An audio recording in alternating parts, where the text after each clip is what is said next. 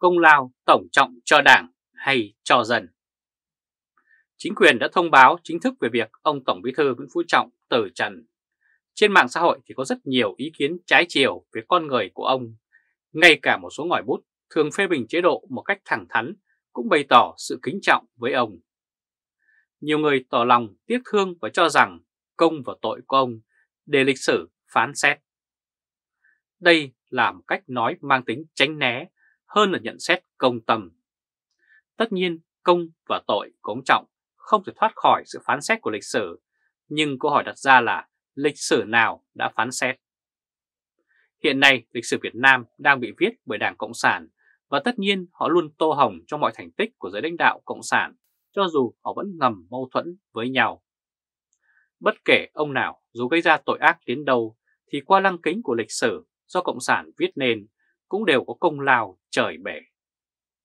Ví dụ như chính sách cải cách ruộng đất do Hồ Chí Minh triển khai đã làm chết 172.000 đồng bào vô tội, nhưng lịch sử của bên thắng cuộc nào có ghi.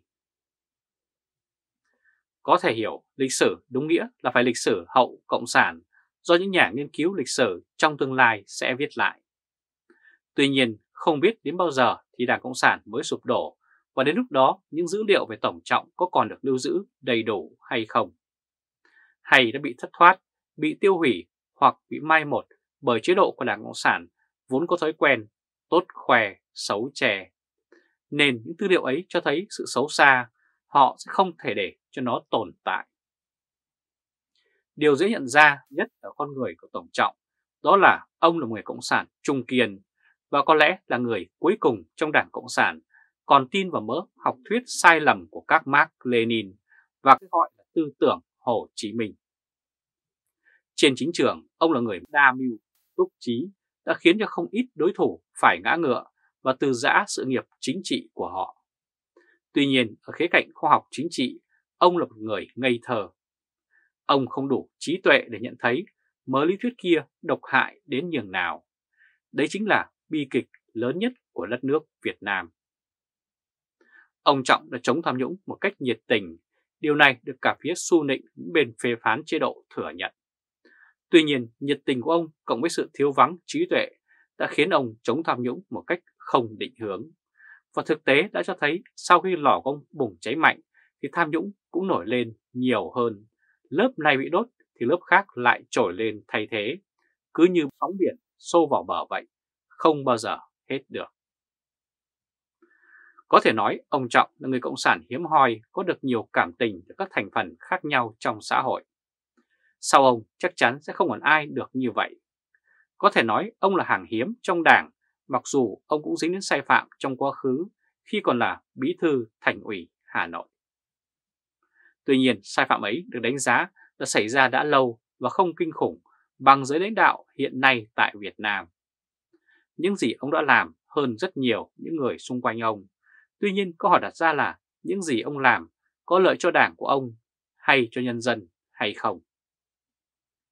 Để trả lời câu hỏi này, cần đặt tiếp câu hỏi dân có được lợi ích cụ thể nào trong công cuộc đốt lò của ông Tổng hay không? Khi lò đang cháy, dân có thoát khỏi trò chấn lột của bộ máy chính quyền, ngay cả trong lúc đại dịch Covid đang bùng phát đỉnh điểm hay không? Dân có hết bị cướp đất, có được trả lại đất đã bị cướp hay không? Và dân có được hưởng giá điện, giá xăng hợp lý hay không?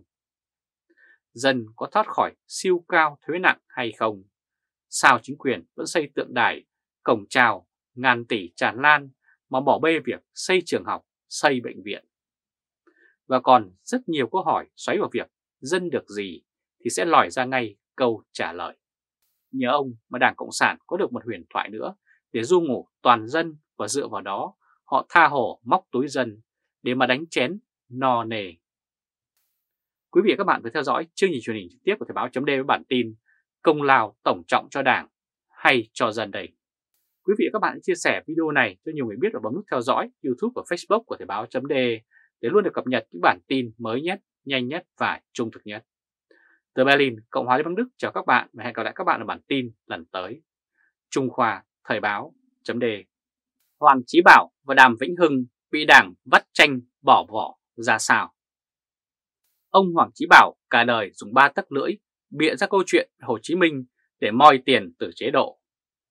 Một ông giáo sư được Đảng Cộng sản đào tạo cho để kể chuyện bịa như thật. Đảng hy vọng với những mẩu chuyện bịa đặt ấy, huyền thoại Hồ Chí Minh trở nên linh thiêng hơn. Nhờ đó mà cả một rừng quan chức núp dưới cái bóng huyền thoại này thi nhau trục lợi từ 100 triệu người dân Việt Nam. Những lần xuất hiện để kể những câu chuyện về bác Hồ cho các cơ quan nhà nước, ông Hoàng Chí Bảo được trả thù lao rất hậu hĩnh.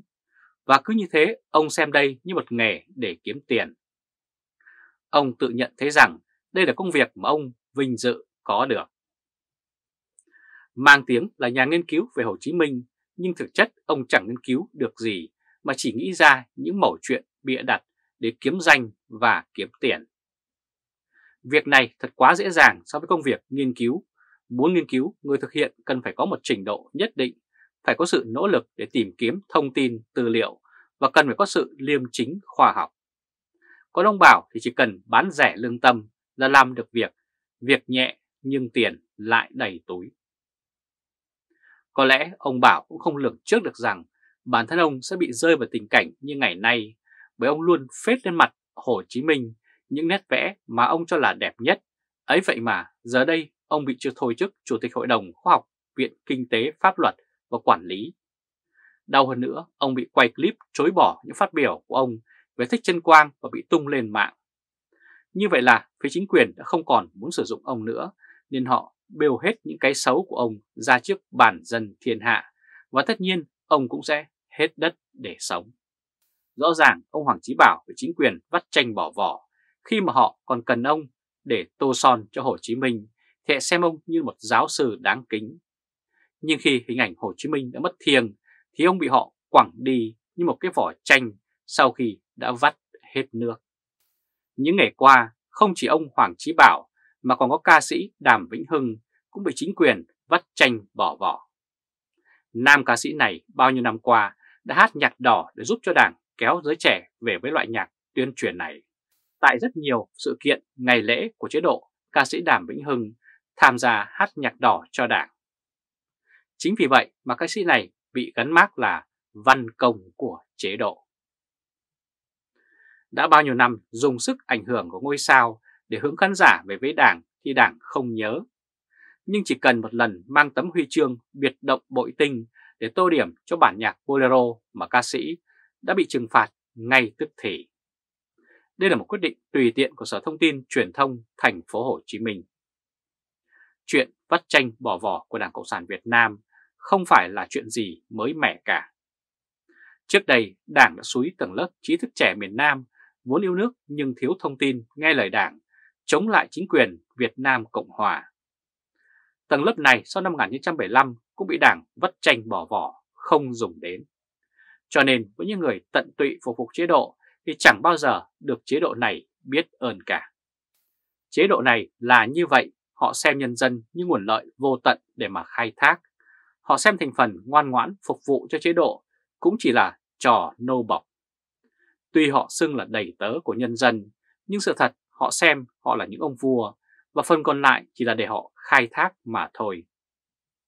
Và một khi hết giá trị sử dụng thì sẽ bị họ vứt đi một cách không hề thương tiếc. Hoàng Chí Bảo và Đàm Vĩnh Hưng cả đời khép nét nhìn trước ngó sau, vậy mà vẫn không thoát khỏi sự trừng phạt của chế độ này. Một khi Đảng tự cho bản thân đứng trên luật, ý muốn của họ là luật thì chẳng ai có thể thoát khỏi nành vuốt của họ, dù cho đó là những kẻ chuyên đi nhẹ, nói khẽ. Quý vị và các bạn vừa theo dõi chương trình tiếp của báo.d với bản tin Hoàng Chí Bảo và Đàm Vĩnh Hưng bị đảng vắt chanh bỏ vỏ. Quý vị và các bạn hãy chia sẻ video này cho nhiều người biết và bấm nút theo dõi YouTube và Facebook của Thời báo .d để luôn được cập nhật những bản tin mới nhất, nhanh nhất và trung thực nhất. Từ Berlin, Cộng hòa Liên bang Đức chào các bạn và hẹn gặp lại các bạn ở bản tin lần tới. Trung Khoa Thời báo chấm